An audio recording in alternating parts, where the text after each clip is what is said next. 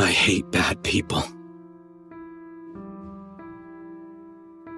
They act so damn superior when their empathy and imagination are as empty as a vacant lot. I can't deal with good people either, because they forgive those bad people. And they view the act of forgiveness as a noble thing. Makes me want to vomit. Karma isn't fully automatic. Evil people are only judged under the law.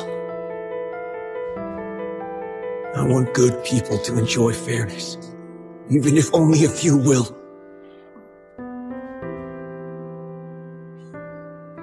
So, I save people unequally.